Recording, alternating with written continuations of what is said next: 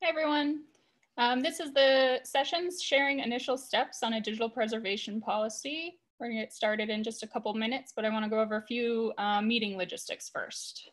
Um, all attendees are muted and the video is turned off for this session in order to prevent background noise and save bandwidth.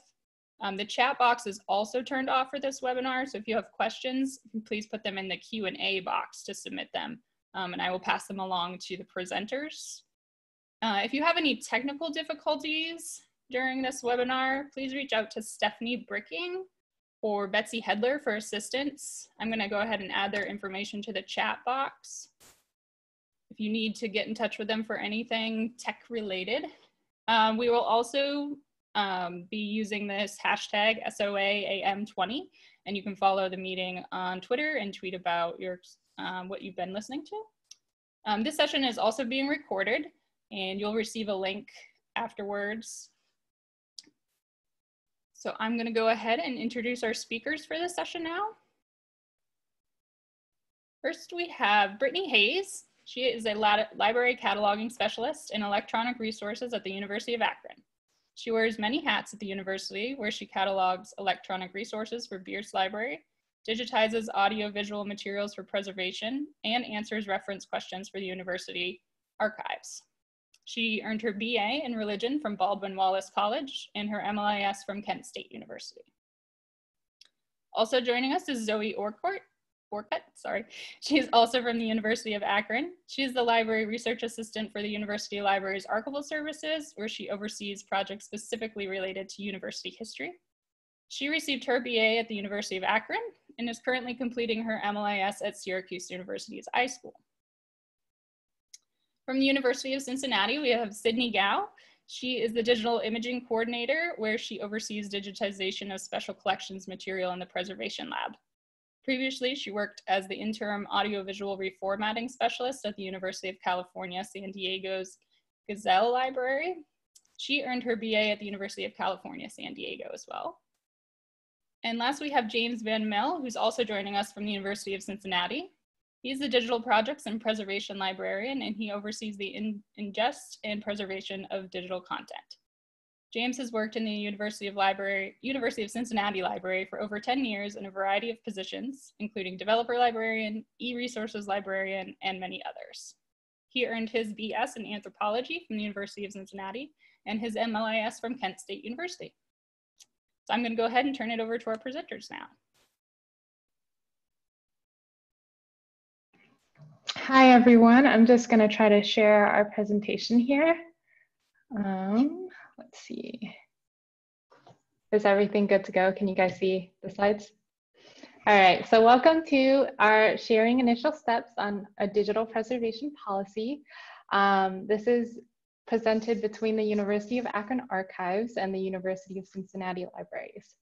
Um, we do have a slide here that is just intros, but you just got intros from uh, SOA. So just really short that my background is in management and workflows for digitization, which is to say that um, I've never been professionally um, trained for digital preservation. And this is just something that I've picked up as I've worked at UCL likewise, uh, my background does not include any training in digital preservation.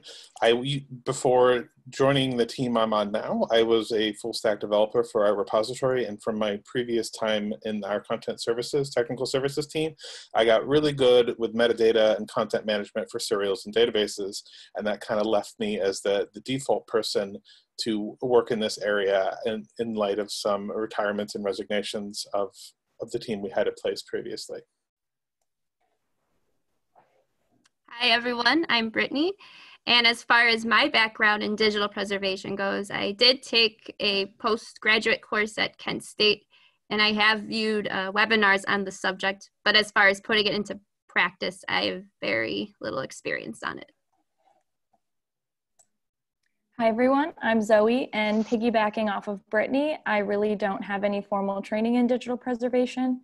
Most of my job responsibilities lie in overseeing student projects, um, doing research, processing collections. So digital preservation is just something that I'm doing self-education for at this moment. Um, we just wanted to have this slide here to let everyone in the audience know that um, digital preservation is something that you can pick up and implement for your institution, whether or not you have the professional training for it. And um, you don't need to feel intimidated if you don't have the professional training because as you can see, most of us don't, and we're just figuring it out as we go. Um, so a quick overview of our repository. So what exactly is it at our institutions that we're preserving? And I'm gonna hand this section over right now to James because he knows the most about the content in our repositories. Great, thank you, Sidney. At the so at UC, we have several different repositories, uh, a few of which I think more closely relate to the work that Sidney and I do as part of our digital content team. The first is the DRC, um, this acronym might be familiar to many of you who recall the OhioLink DRC.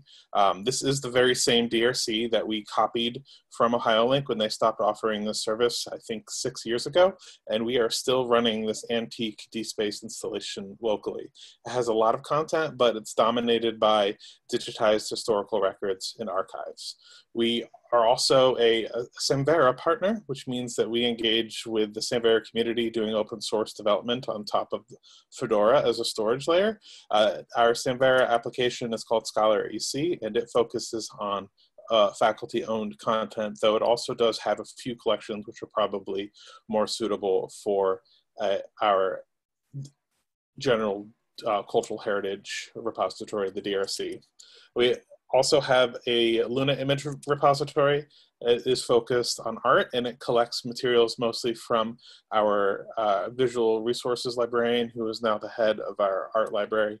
There's also some other cultural heritage material in there. And then we have just additional storage. We have just online drives that have collected project files from over the years. Uh, we have uh, storage associated with our art college from a, a homegrown system there. And a lot of stuff that hasn't, that we don't really understand and we're, we're working to grapple with right now. Uh, Sidney and I are most deeply engaged right now with our, our current digitization workflow, which focuses on what we call slow digitization, high quality images of document materials with an emphasis on special collections and archival collections. And it's kind of our, our starting point as we think about our responsibilities as they relate to digital preservation. So over on University of Akron side, um, for archival services, um, because we are the archives for the University of Akron, first and foremost, our collections related to the University of Akron, um, you know, kind of our priority. We also have um, materials related to Akron and Summit County, um, the rubber industry, including the Goodyear Tire and Rubber Company collection. Um, we have lighter than air flight materials, um, anything relating to Ohio canals, uh, book and print culture, um, and the B-26 Marauder and the 9th Air Force materials. Um, and so a lot of these collections, we are actually trying to do conservation and preservation for them. So, um, and processing. So um, there's a lot of work that we're doing actually trying to organize the physical collections. Um, so keep that in mind when we talk about our uh, digital preservation initiatives.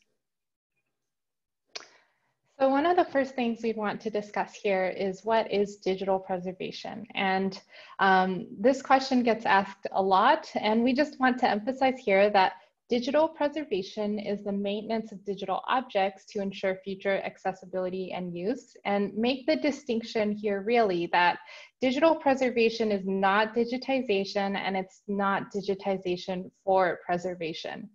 Um, an analogy I like to use is that we have preservation for books in our libraries where conservators will fix um, split spines and tears on the pages. And so digital preservation is kind of the digital version of that, where instead of fixing a tear on a book page, we will check for bit rot and make sure that our files are accessible and so that people can still use these files um, 10 years into the future.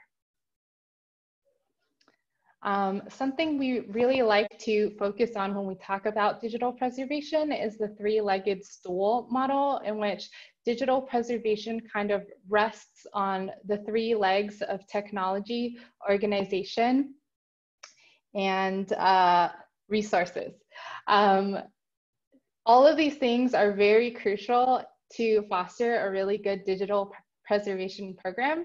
And I'd just like to emphasize here, um, the organization pillar is often the least focused on when we talk about digital preservation, but it's really, really important to get administrative support and buy-in when you're building your digital preservation program because they're the ones who can offer you the resources and the collaboration with stakeholders that's necessary for digital preservation policies to really work.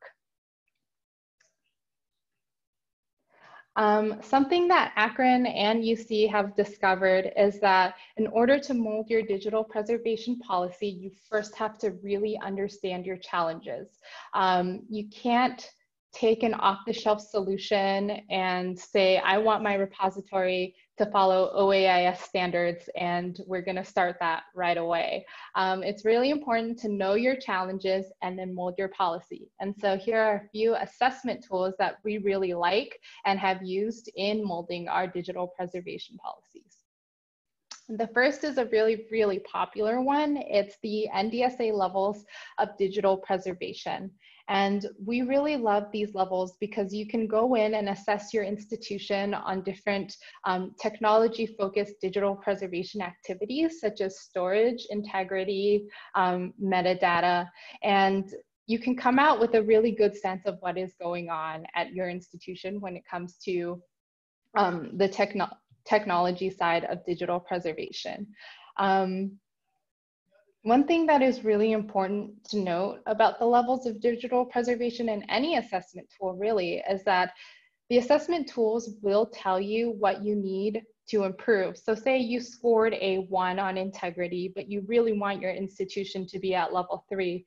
Well, the problem maybe isn't that you, the problem maybe isn't that you don't know what you're doing when it comes to um, verifying the integrity of your files, maybe it's that you don't have the staffing resources to actually dedicate manpower to assessment of your collections. And so these tools are really wonderful for telling you where you're at and how you can improve, but you really have to think critically about what challenges your institutions might be facing.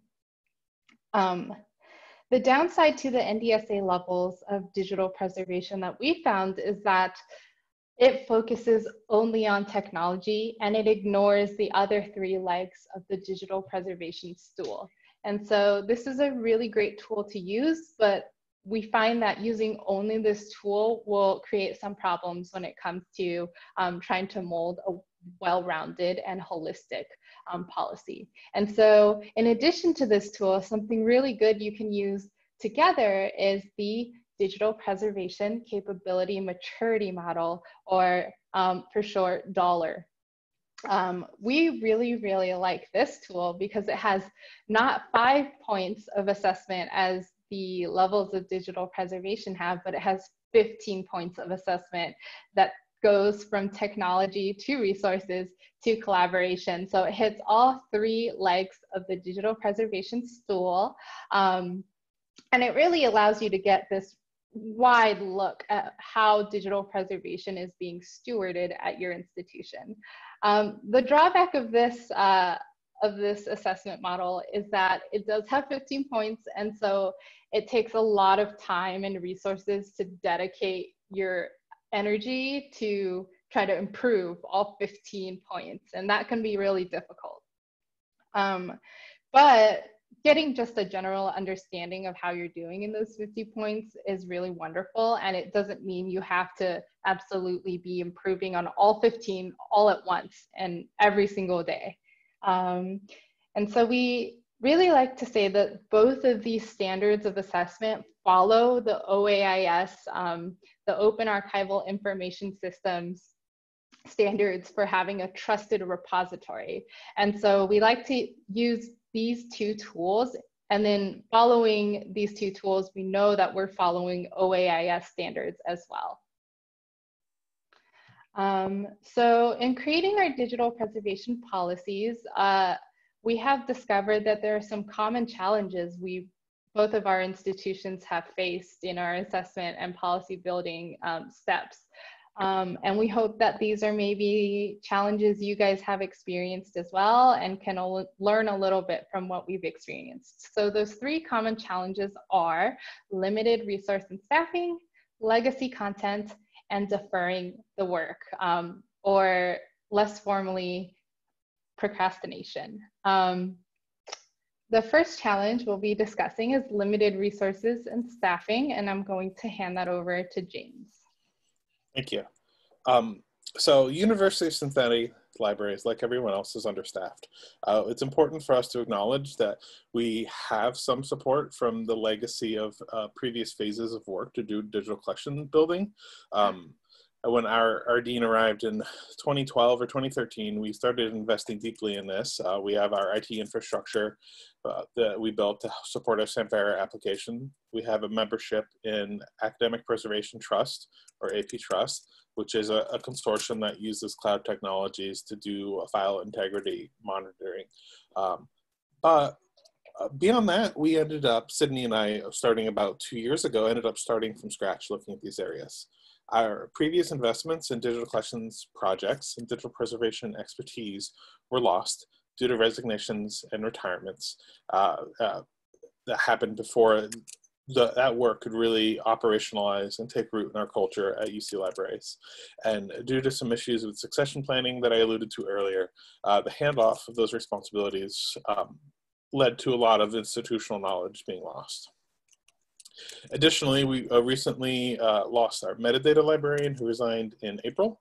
And so now our core digital content team is just two people, and we have very large leadership gaps in our organization. Um, we were somewhat ironically fortunate a few years ago as uh, Sidney, our metadata librarian, and I were starting to look at this work and to look at our digital content strategy uh, that we identified such strong needs that we were able to pull Sidney into this work, even though it wasn't really part of her job description, beyond the work that she does to put together our, our submission packages for our repository. Um, my own job description I would say maybe 10% of my work is for digital preservation.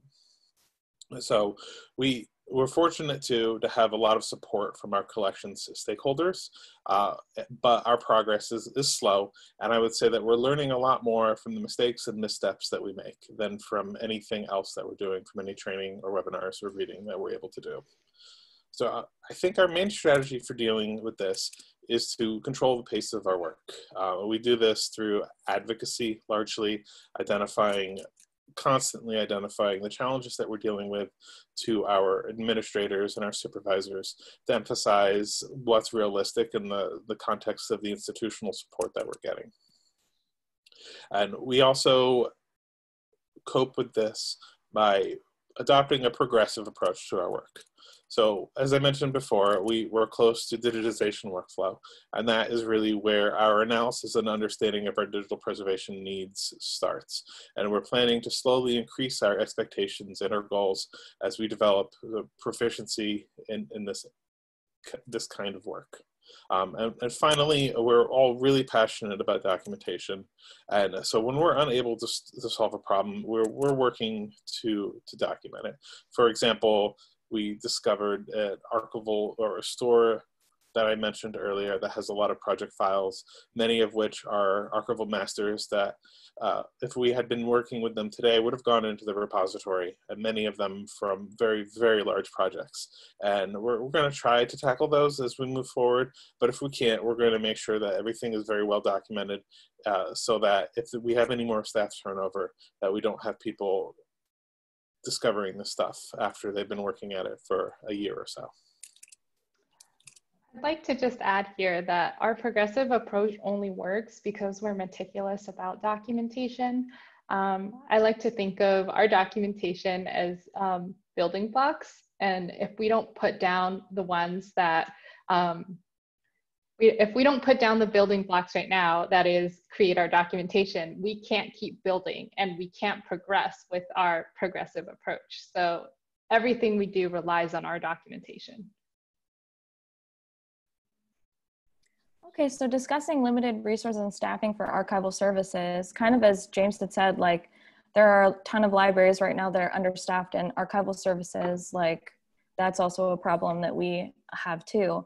Um, we have had you know different people that have left positions that haven't been filled so you know there are a few um, kind of gaps um, even just in our own department um, and in the, the, the, rest of the library um, so for people So for digital preservation at Archival Services, it's kind of an informal thing that we're doing right now. Um, we actually don't have a formal person dedicated to this.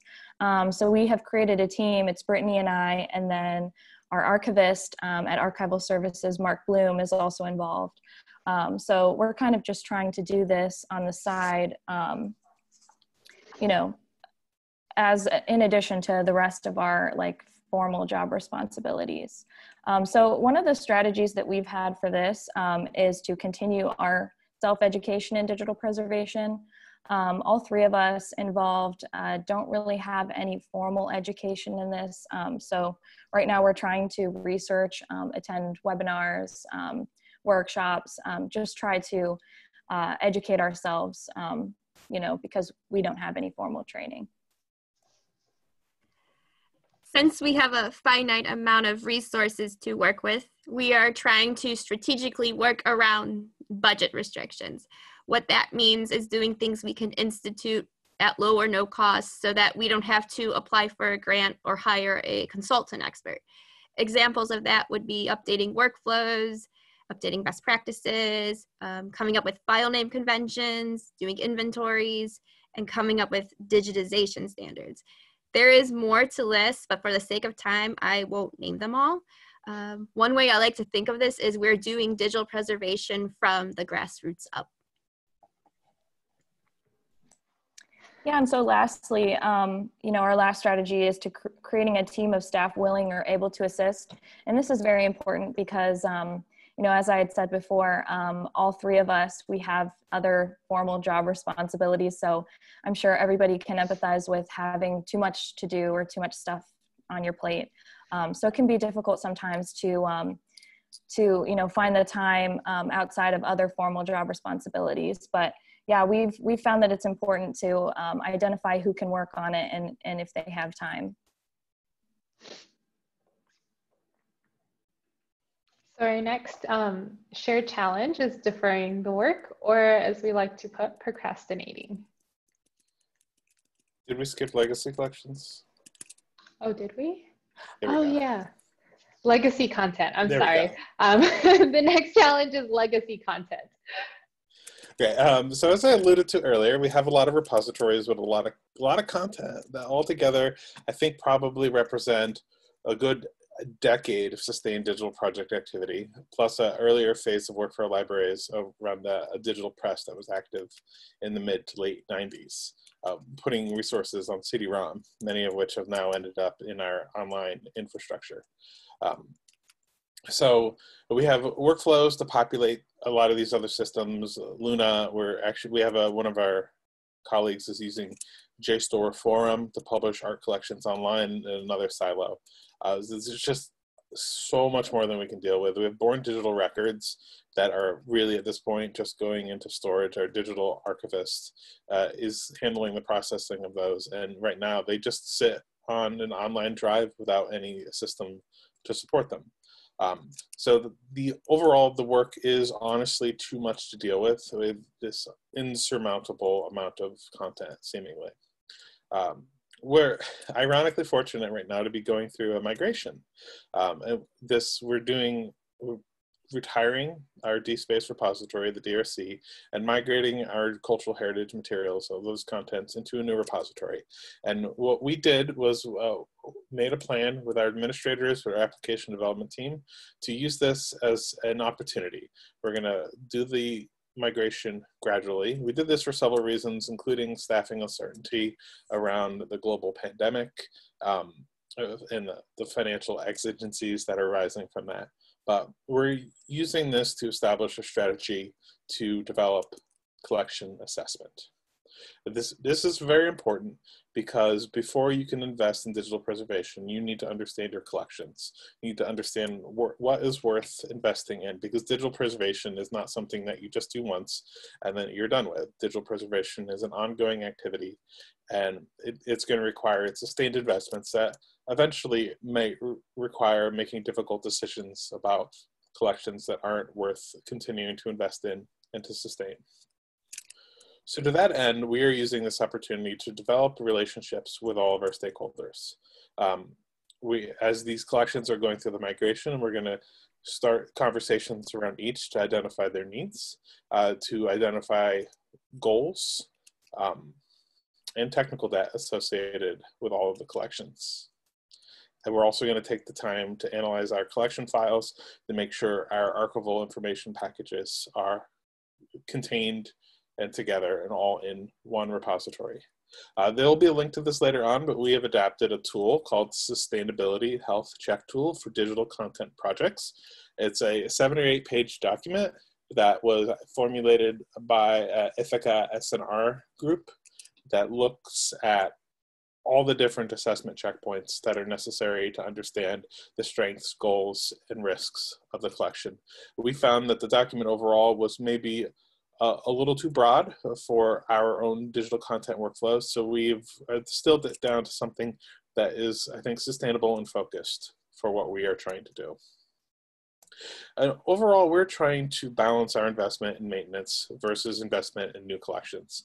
In older phases, I feel like our library has invested a lot more in collection production and deferred a lot of questions of maintenance and digital preservation.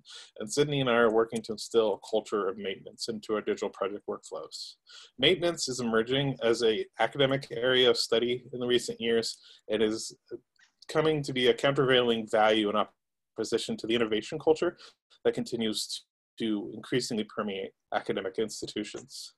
If you're interested more in this idea, there is an, uh, an informal group called the Maintainers that pulls together uh, interdisciplinary uh, stakeholders in these discussions. One of their co-directors is a digital preservation professional, and many archivists and librarians are among their members. There'll be a link to that on our resources slide uh, later in the presentation for us at Akron, we are at the beginning stages of identifying legacy content. This also doubles as creating an inventory on what we have in our digital collections. What we are doing is going through our server space as well as external drives and keeping track of all of our digital content in a spreadsheet, or some people call it a tracking sheet. In the tracking sheet, we list the file name, the location of the file, and the file format. After that is done, we will make a count of files that are near preservation ready, which are files and formats that are soon to be unsustainable, and files that are in obsolete formats or legacy records. Um, additionally, um, as I had uh, mentioned before, because we don't have a specific person dedicated to this, we want to try to incorporate um, a lot of these things into our workflows as much as we can.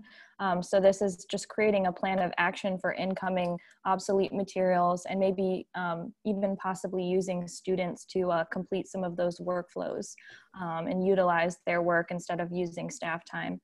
Um, additionally, um, we hopefully will be able to request um, that all of our incoming materials, or at least most of it, would be in a standardized file format outlined by um, the dollar model or the digital preservation capability maturity model um, that Sidney went over. Um, it has a list of file formats that are, you know, accepted, and so uh, you know that would be kind of like a a wish on our wish list um, to request that all of those incoming materials be standardized. And our final common challenge here is deferring the work, finally, and procrastination.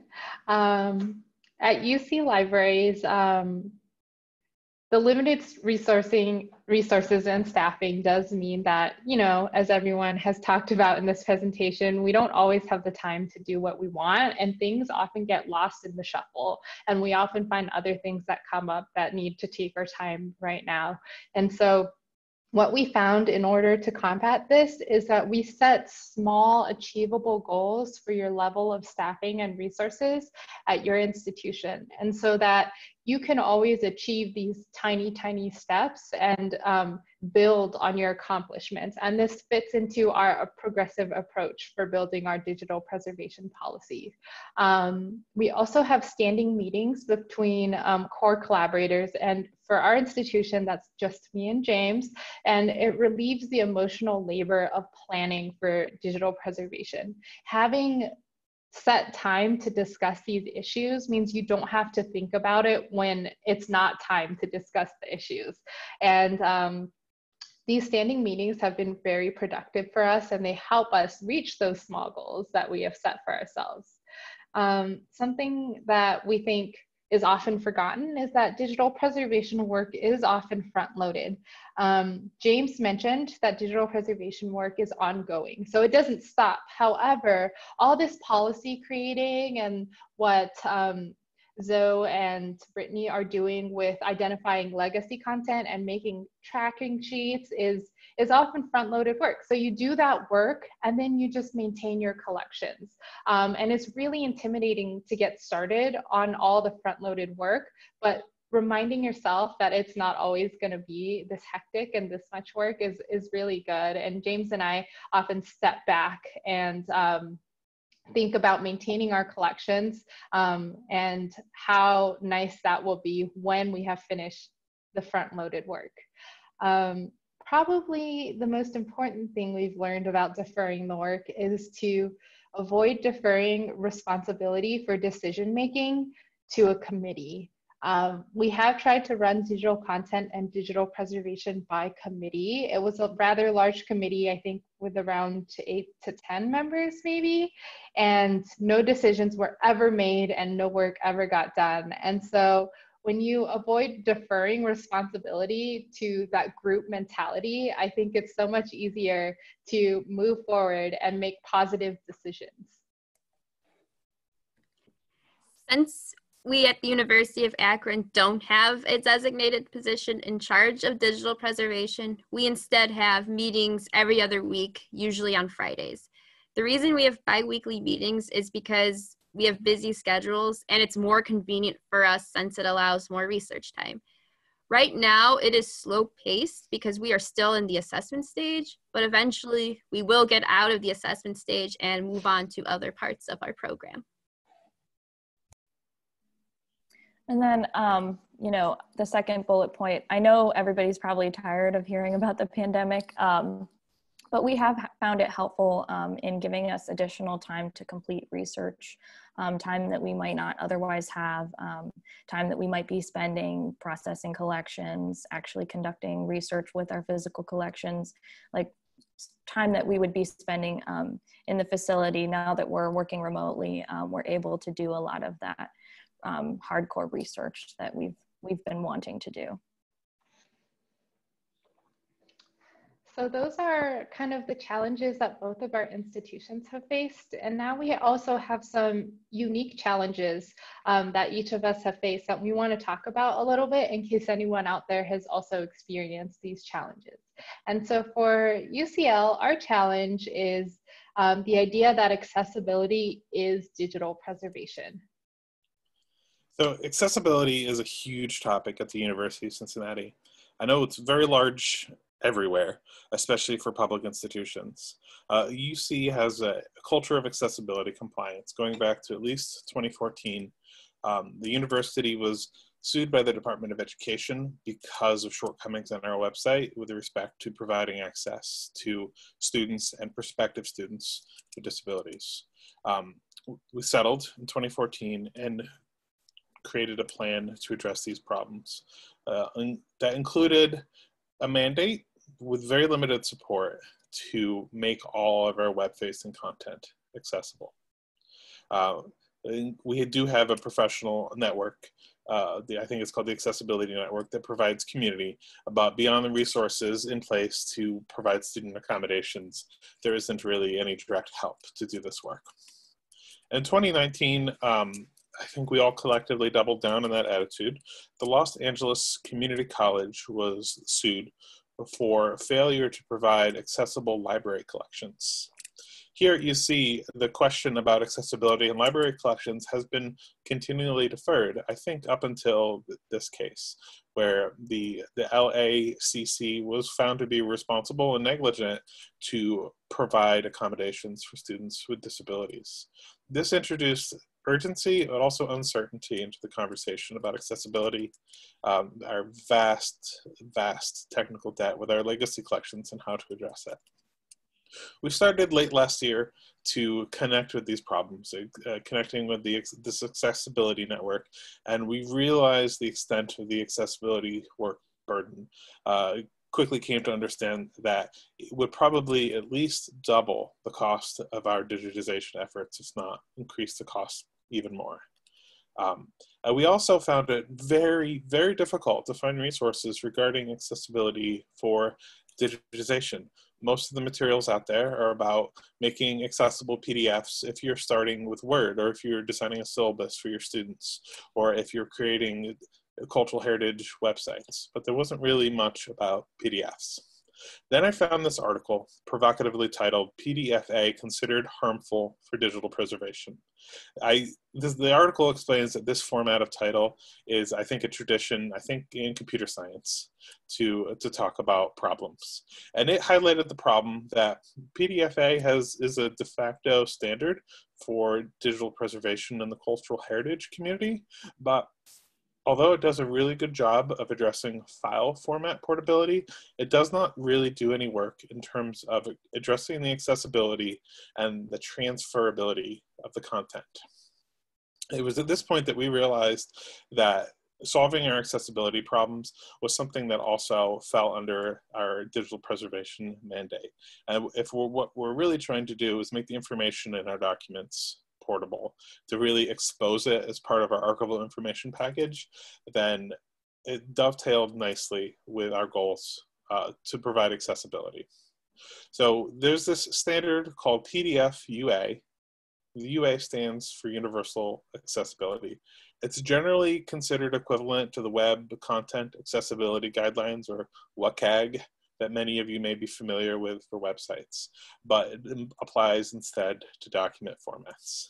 It requires that content is categorized as either meaningful content or artifacts or background images. It requires meaningful content is tagged with appropriate semantic tags, and that tag structure should be should indicate a logical reading order of the text. And it requires, among many, many other things, that pictures must have alternative text. And so we're working now to advocate simultaneously for accessibility um, remediation for legacy content, establishing workflows to do it on demand, and also building it into our core digitization workflow as part of doing the right thing to provide accessibility, but also providing digital preservation for our contents by making sure the intellectual contents of the stuff that we're digitizing is as accessible as it can be. Mm -hmm. I always it's, like Sorry. Oh, yeah, one more point, real quick. Uh, was, so, as I mentioned, the digital content team is focused on digitized documents, where we have essentially complete workflow control. And we do acknowledge that this approach does not really accommodate born digital records. And we think that the future for addressing that problem is with increasing compliance with the Dollar DCPMM model that emphasizes that relationships with providers are a good place to start in terms of dealing with file formats and making sure you get preservable file formats. And I think this probably also extends to accessibility and our broader campus culture around accessibility probably also has a role in improving this. The highest level takeaway, I think, from this is that if you preserve your files and have the greatest digital preservation policies ever, and in 50 years someone goes to use these wonderfully preserved files, but they're not accessible and they can't use them anyway, what was the point of preserving them? And so we really like to build this accessibility um, workflow into digital preservation because those, these two are really interconnected. And that's that's a very important topic for yeah. us here. And it makes the cost of digitization something that's very real and very present instead mm-hmm. of pretending that it's something that we could or should defer uh, yeah. and turn into technical debt.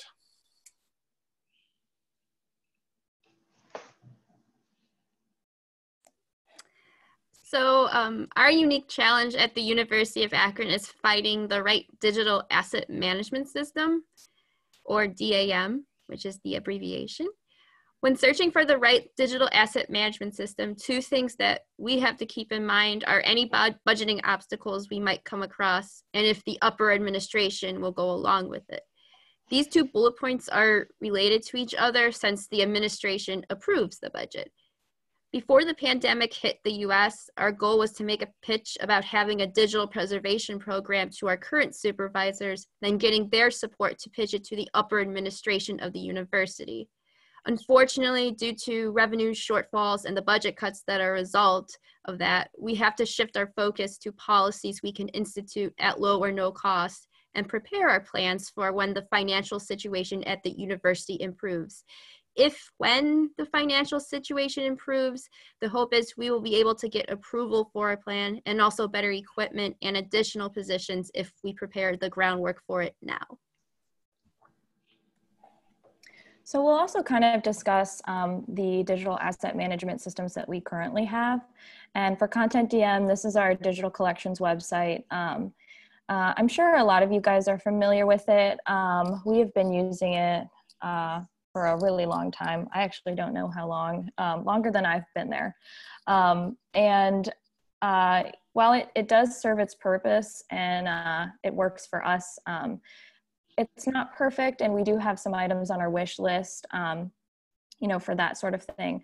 But uh, we are very um, thankful and grateful for the remote accessibility of some of our digital collections especially during this pandemic. Um, patrons can and users can access content without physically coming into the facility which is very helpful for us right now because we are closed um, uh, there are a lot of people that come in and like to look at the physical collections. And if we do have access to them online, we can point them to there um, instead of, of uh, you know, just telling them they, they can't access anything.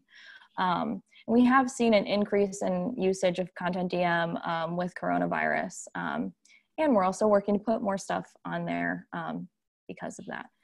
Uh, what we've also found is that digital preservation is becoming more relevant for us in the, in the light of this current pandemic. Um, and we're starting to see uh, more clearly why um, it will become so important to our institution in the near future.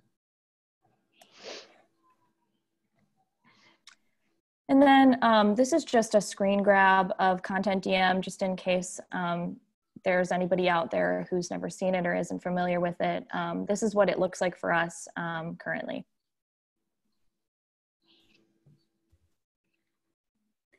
Now we are going to discuss SharePoint, which we also use, and some of you might be wondering what it is.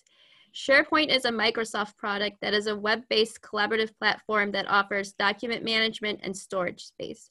Electronic Services, which is another library department and also one that I work in, uses SharePoint frequently to store loading guides, tracking sheets, and documentation. Archival services began transitioning from institutional servers to SharePoint in 2019, and the process is still ongoing. In the near future, all campus servers will be uploaded onto SharePoint. Um, as far as its usability, um, there are definitely some advantages and some challenges that come with it. Again, I will reiterate our absolute gratitude um, for remote ac access during this time. Um, we're very grateful that we don't have to go through VPNs to access a lot of our digital content. Um, uh, we are able to just access it from any internet browser, which is very helpful. Um, another thing that's helpful about it is that it complies with um, the NDSA and Dollar model with use of cloud storage. Um, so, you know, that's a big plus for us in the area of digital preservation. Um, access can also be deter determined per member guest. Um, this has also been helpful for us because we do have student workers who are currently working uh, remotely as well. Um, and so it's very nice uh, to be able to allow them access to that. And we can also, um, you know, change it so that they can't, um, you know, edit or delete files. Um, they can they can view the files, but they can't necessarily change them. Also, it notifies administrators when files are changed, edited, or deleted, which is helpful. And it actually, with the deleting feature, um, files aren't actually fully deleted. Um, they go into a recycle bin when they're deleted and then they're like permanently deleted after two months. So if you accidentally have a mishap where you accidentally move a file or delete a file, um, it's easy to change it and you can see who viewed or edited it um, uh, at any time, um, which is is nice. You know, if you have something a, a, mix up or something, you can kind of track to see where that where that was um, or who who accidentally uh, changed something. Um, another thing. Sorry, excuse me. Um, so for challenges, um, one of the things uh, that we have found difficult about SharePoint is that it does not accept all file formats, um, including MOV. We do have a lot of digitized film um, and VHS tapes that we do um, share uh, store there, and so it's kind of difficult for it to not accept MOV. We do have issues with uploading and long loading times. Um, you know, we've had issues with um, maybe we thought we uploaded a file and it wasn't appearing. So there are some issues with that. And then with viewing um, large files, uh, a lot of times it doesn't open the folder if the file is too big, or you have to download it to view it, which can be um, challenging. Um, also, there's other complications with naming conventions, um, and then metadata and checksums uh, are also difficult. And we're still trying to iron out all of those details and figure out how to do those. Um, but yeah. So in the end, uh, SharePoint is not recommended as a long-term file storage for digital collections. It is better as a collaborative platform for short-term file storage and documentation. And here's a screenshot of SharePoint for those that are unfamiliar with it. In the far right hand side is the ID column. That is generated by SharePoint and not us. So just really quick, we want to save room for questions and we're running a little bit short on time, but where we are now is that UC Libraries has um, drafted really great digital preservation guidelines and we're now working to address our legacy content. But because we have full control over our digitization workflows for new incoming digital collections, we've got a good grasp on you know, what we need to do to preserve our files moving forward and setting up for remediation workflows for that legacy content.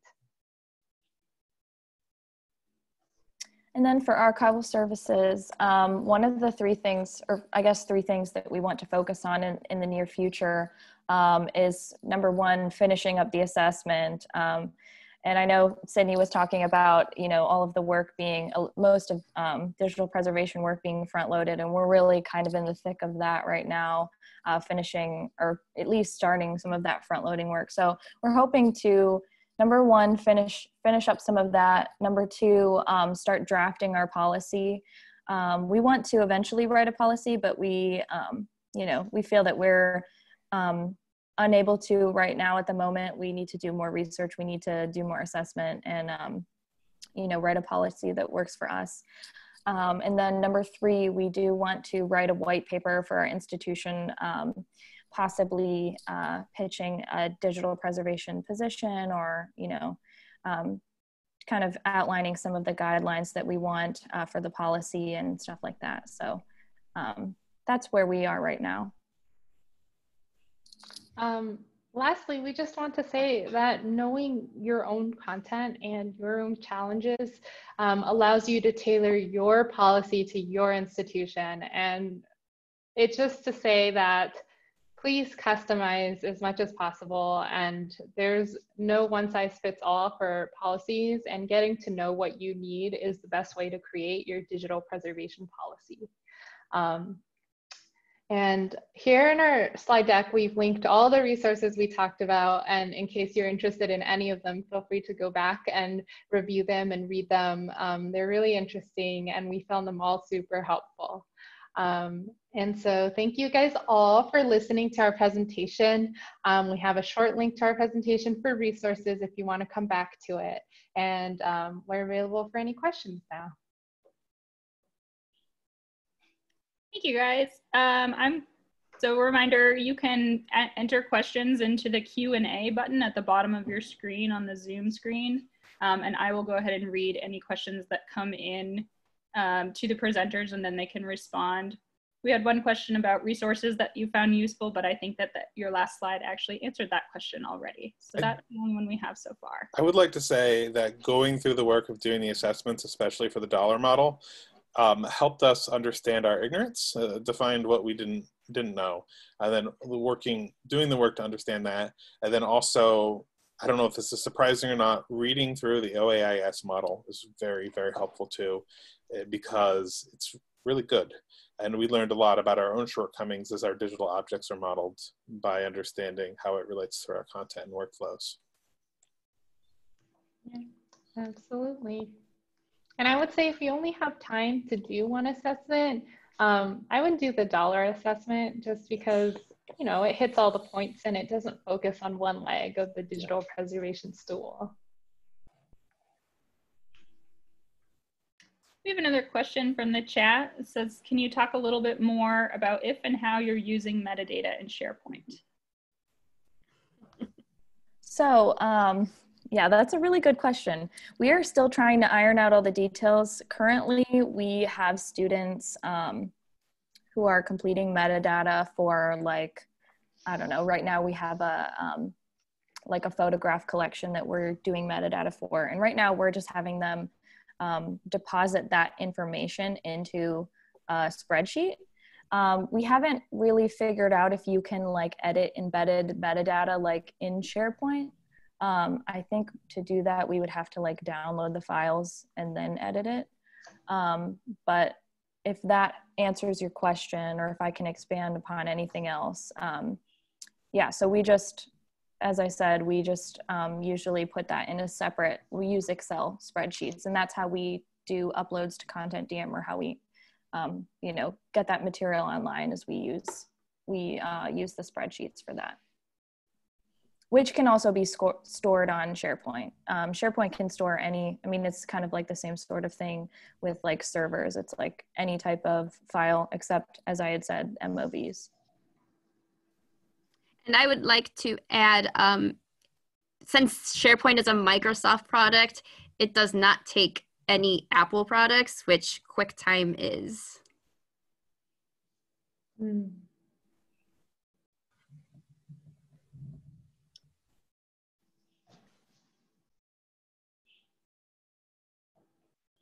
Time for a few more questions if there are any.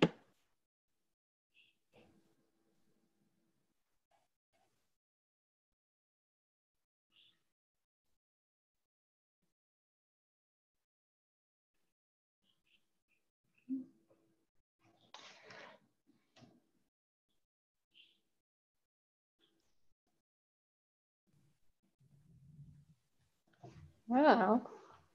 There's my cat.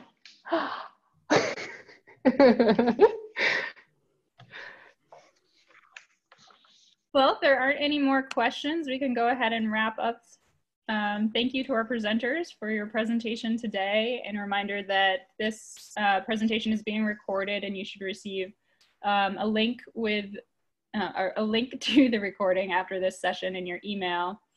Um, and yes, you will get an evaluation for this session. It should pop up in your browser if you can take a couple minutes and just fill that out for us as well.